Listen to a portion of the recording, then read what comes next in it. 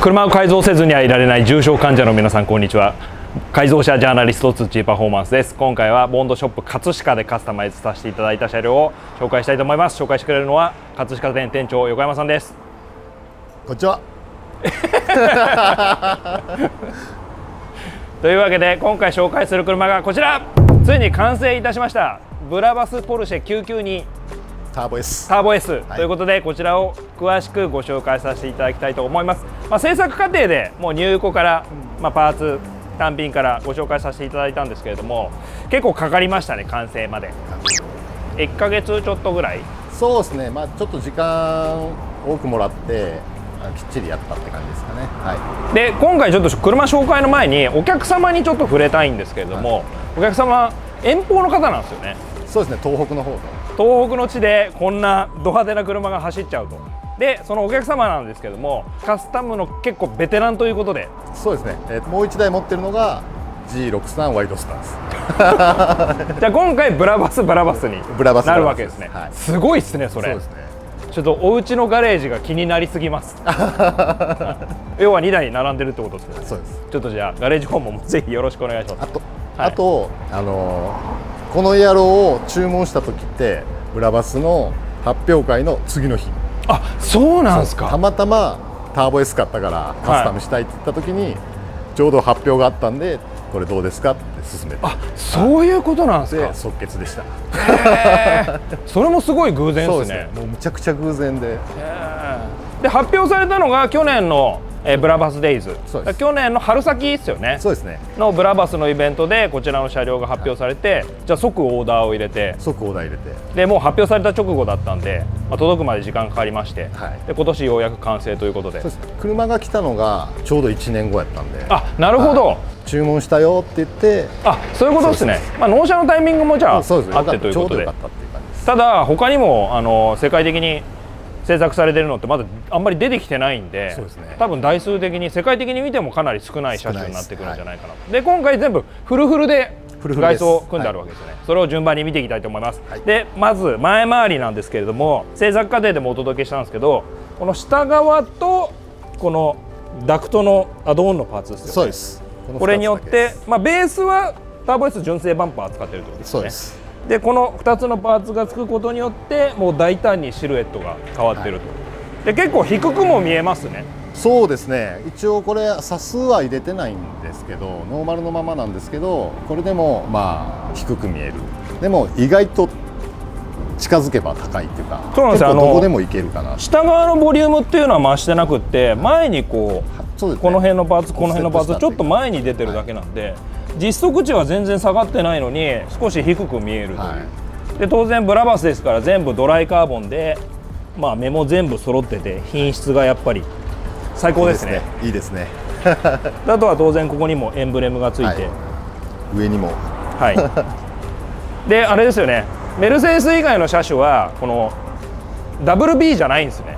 違いますねこちらのタイプのポルシェとこのクレストのタイプのブラバスのエンブレムになると。これだいぶ前回り違いますねじゃあ。そうですね。なんかやっぱカーボンがいい味出してるっていうか。確かに。まあ純正もカーボンパーツとか、まあ、あと他のメーカーいろいろありますけどやっぱりブラバスこの辺のデザインうまいなっていう感じしますよ、そしてあとは今回はこの樹脂パーツとかっていうのをあえてそのままです。塗ってないということで、まあ、今後はアレンジなんかで、まあ、塗っていただいてもいいのかなというこんな感じになってると。そして横を回ってってもいいでしょうか。はい。今回こちらのお車に装着しているホイールがこちら。こちらもなんとブラバスのホイール。はい、単造ホイールですよね、はい、モノブロック Z こちらが装着されています。でこれサイズ的には？21インチですね。2122そうです。2122ですね。1インチずつアップされてると。でこれも他のあのメルセデスのコンプリートカーと共通性を持たせたデザインなんで、はいめちゃくちゃこうマッチしてるというか ブラバスらしいデザインになってますよね。ですね。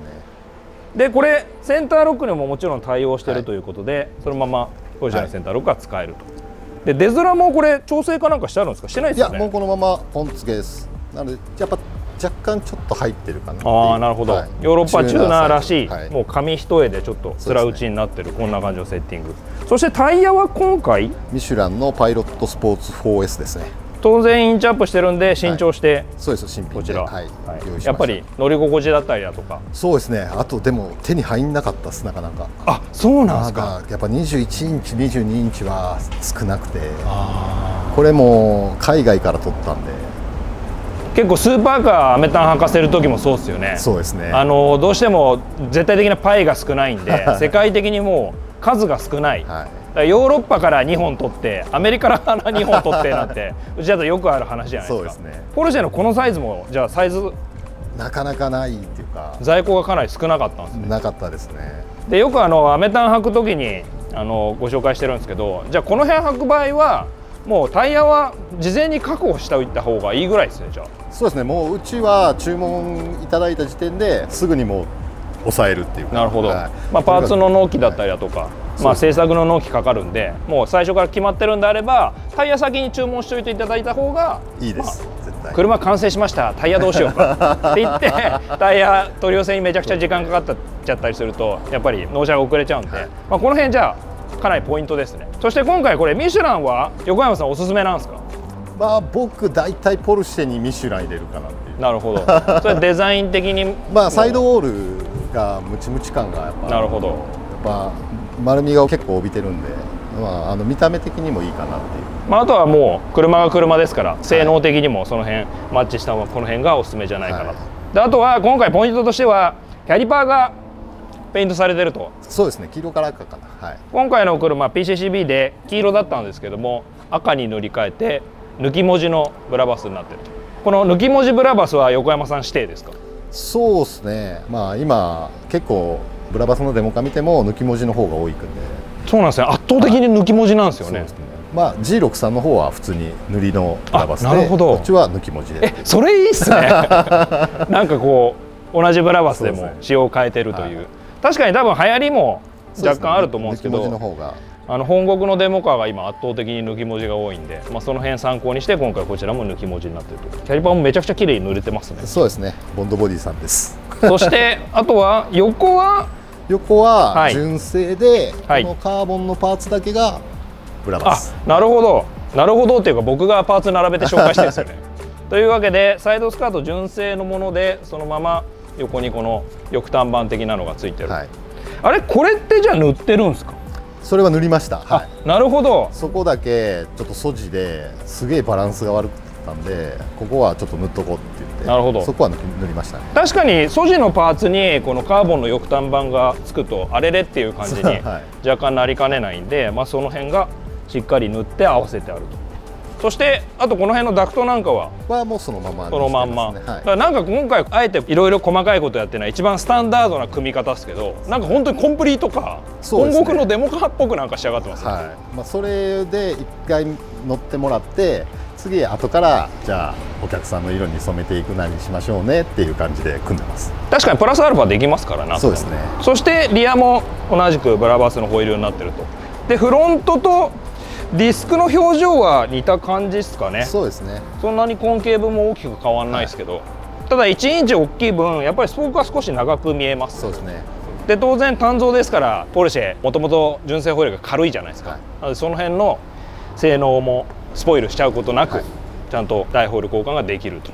そしてリアも出づらちょうどいいですね。そうですね。多分ちょっと入って感じではい。チューナーサイズですね。で今回車高もノーマルですけど、はいなんかあののその辺がノーマルでも全然成立するというか。まあもともとが低く見える車なんでまあタイヤも1インチ大きくしたけどまあ外形的にはそこまで変わってないんですけどね。すごく大人な感じしますよね、はい。だこれベタベタもかっこいいと思うんですけど、はい。ベタベタにするとちょっと若者感出るじゃないですか。そうですね。やっぱチューナー系のエアロつけてるんでホイールしかつけてないとかだったらもうちょっと落としてあのーやりましょうかっていう感じなんですけど今回エアロをつけたんで、まあ、そこはチューナーっぽく作った方がいいんじゃない？確かに、はい。またこれタイヤホイールアメタンにしてとかっていうんであればまた車高調整していただいてもいいのかなと、はい。出てますもんねいろいろ。えー、とカーベイの HAS も出てるんで、はい。まあその辺も今後アレンジができるポイントかなと、そしてリアもしっかりキャリパーペイントしてまあこの辺キャリパーでかいですからね。塗っていただくとインパクトもだいぶ違うんじゃないかなと。そしてあとは後ろですかね。はい。後ろめちゃくちゃかっこいいです いねやーもうこれが一番目玉かなって。これちょっとついてきたくなるリアっすよね。でまず上から見ていきたいんですけど、この大きいトランクのスポイラーというか、はい。ウイング。これ純正だともうただのスケボーみたいな。そうで板板です。感じですよね、はい。それがちゃんと翼端板がついてこのはい立体的になってるウイング、はい。あのターボ S の性能から言うとなんか純正でこのぐらいボリュームがあってもいいんじゃないかなっていうぐらい。そうですねただあんまり派手すぎないんで、はい。この辺の絶妙なバランスやっぱりメルセデスチューナーブラバス、まあ、今メルセデスだけじゃないですからね、はいチューナーブラバスのはい。すごいところかなと、そして翼端板はこれボディ同色ですよね。これはカーボンじゃないんですよ。あカーボンなんですけどもともと目が出せるタイプじゃない。じゃないカーボボディ同色に塗ってここにンブラバスのエンブレムはがついてると、これだいぶかっこいいですね。い、いやもうめちゃくちゃかっこいいですよ。なんかこれだけつけてもいいぐらいな感じしますよね、であ、一応上がったり下がったりするんで。あじゃあ純正のその機構はそのまま生かしたまんまはい。この辺のウイングがついてると。そしてあとはやってきましたガーニッシュ、これもめちゃくちゃかっこいいと思うんですよ。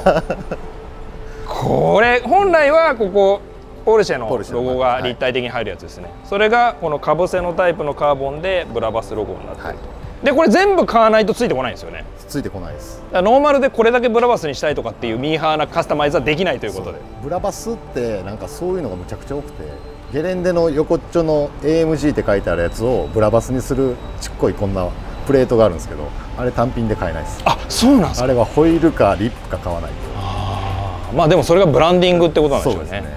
内装もそうなんですよね。一部分だけってできないですよね。できない全部やるしかないですよね。全部やるしかないまあその辺がもう本物の証ということで、はい。こんながこんな感じのパーツもついております。でこれエンブレムって元から黒ですか？いやえっ、ー、とシルバーだったかな。確か。あじゃあ今回このカスタマイズに合わせてこの辺もペイントしてるであとはやってまいりましたこの下側のディフューザーとこのダクトのカバー。これは交換ですよね確か。そうです。そね。これは別パーツ、はい。これは別パーツで。で純正のリフレクターと合わせてはい。アドオン、アドオンじゃない？えー交換でついてる。つつけるで下側のこのディフューザーはディフューザーでまた別のパーツとしてついてる。結構出てますね。そうですね。僕もここまで出るとは思わなかったんで。すごい立体感だ。でそこからさらにこのマフラーの部分がボディ同色で出ててマフラーも出てると。そうです。でこれはマフラーつながってはないんですよね。えー、繋がってないです。飾りですけどまあマフラーもブラバスのやつに交換してます。あのマフラー本体とこのカッターは切り離されてるんですけど中身のマフラー本体もちゃんとブラバスに交換してある。とでこれカッターもめっちゃかっこいいですね。いやめちゃくちゃかっこいいです。ブラバスの刻印が入ってて内側がこのなんか戦闘機のあの 吹き出し口のとこみたいな。アフターバーナー。はい、アフターバーナーする。出口のとこみたいな。そんな感じのデザインになってると。でこれ下側はここまでか。ここまでですね。そうですね。でマフラーが交換されてると、はい。でマフラーが、えーフルチタン製。フルチタンです。でこれ E マークって言って車検に必要なマークもついてるんですよね。そうですね。一応通ります可能性があるよっていう。ただまああのちゃんとうちもそのまま持っていきますし陸運局にちゃんと検査員に見てもらって OK もらってちゃんと車検を出すっていう。まあ、車検に必要な基準は通ってる。そうです音量はまた別の問題なんでまあ、絶対的にその車検の合格を保証するもんじゃないんですけど、はい。まあ、基本的にその適合したもののマフラーになってると、はい。でこれがあの結構な金額なんですよね。そうですね、えーうん200 3桁万円。マフラーがなんと3桁万円ということで、はい、こんな感じの仕上がりになっております。じゃあ続いて内装も少しカスタマイズ手が加えられているということでまずこのスカーフプレートが、はい。これもめちゃくちゃかっこいいっすね。これあのいろんな色に光るんで。あなるほど。開けた時は白色ではい。しばらくすると赤い色になったりとかする。あの、はい。ゲレンデのリップスポイラーもそうですよね。そうですそうです。あの青白で色が変わるタイプ、こちらも同じように色が変わるタイプになってると、はい。これがカーボンでこのベースは純正なんですよね。ベースは純正なんですけどベースも2種類あってあの LED 付きのスカーフプレートにしか合わない要はなんかこれサイズが違うんですよね。そうそうです、はい。大きさが違って。というわけで純正の LED 付きのこのスカーフプレートもともとついてる方ならいいんですけそう。どついてない方はは。ベースごと買わないといけないという。そうです。ちなみに20万でしたそんな差ですか。でプラスこのカーボンのこれもブラバスで買わないといけないですよね、はい。それも結構な金額なんですよ結構な金額です。というわけでこんな感じになっててこれいいっすね。もうやっぱ見た感じ一番目目がつくっていうか光ってる。確かに乗り込む時毎回目がいきますもんね、はい。そしてその奥のペダルもそうですね。やっぱり内装ちょっとしたところですけど重要だと思うんですよ。そうですね。やっぱりその外装って乗ってる時あんまり見えないじゃないですか。でも内装って乗ってる時見えるじゃないですか。そうです。だから乗り込む瞬間とか乗った後とか見えるこの辺だと満足度やっぱり高いですよね。そうですね。